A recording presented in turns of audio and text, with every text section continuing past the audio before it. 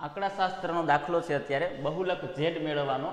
પ્રશ્ન એવો છે, એક વિદ્યાર્થી પ્રત્યેક ત્રણ મિનિટનો એક એવા સો એવા સો સમયગાળાઓ માટે રસ્તા પરની એક જગ્યાએથી પસાર થતી ગાડીઓની સંખ્યા નોંધ કરી અને તેને નીચે આપેલ કોષ્ટકમાં સંક્ષિપ્ત સ્વરૂપમાં દર્શાવ્યું. આ માહિતીનો બહુલક મેળવો. પ્રશ્ન આપણે ધ્યાનમાં એ રાખવાનું છે કે પૂછ્યું હું, બહુલક મેળવવાનો છે અત્યારે.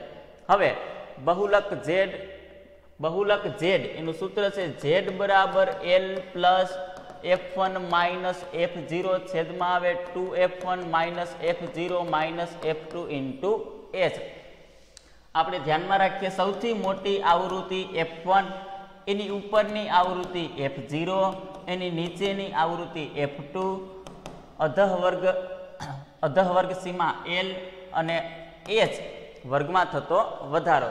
હવે જોઉં. એફ વન એટલે સૌથી મોટી આવૃત્તિ આ ખાનામાં તમને કેટલી દેખાય? પંદર, વીસ.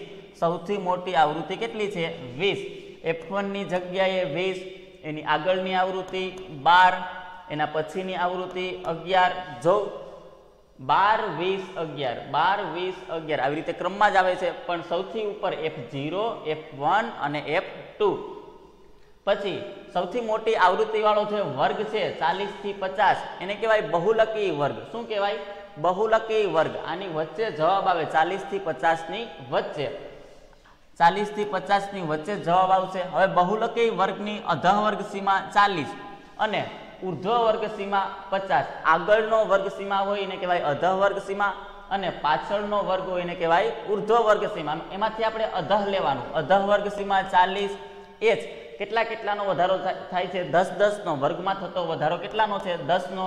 હવે સૂત્રમાં કિંમત મૂકીએ. એલની જગ્યાએ મારે લખવા પડે ચાલીસ plus F one minus F zero વીસમાંથી ચાલીસ વીસમાંથી બાર બાદ કરવાના. આના પછી ટુ ટુ એફ વન બે ગુણ્યા એફ વન બે ગુણ્યા વીસ. વીસ દુ ચાલીસ માઇનસ એફ ઝીરો એની આગળની આવૃત્તિ બાર અને એના પછીની આવૃત્તિ અગિયાર.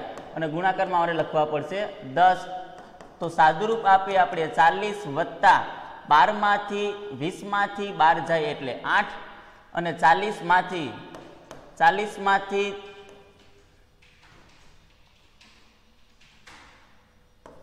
ત્રેવીસ જાય એટલે સત્તર. અને ગુણાકારમાં દસ. તો ચાલીસ વત્તા દસ અઠ્ઠા એંસી ભાંગાકારમાં સત્તર કરવામાં આવે. એંસી ભાંગાકારમાં જો સત્તર કરવામાં આવે તો ચાલીસ વત્તા ચાર પોઈન્ટ સિત્તેર. અહીં લખી નાખું ચાર પોઈન્ટ સિત્તેર. હવે સરવાળો કરીએ તો ચાલીસમાં ચાર નાખીએ ચુમ્માલીસ પોઈન્ટ સિત્તેર. આને કહેવાય બહુલક ઝેડ.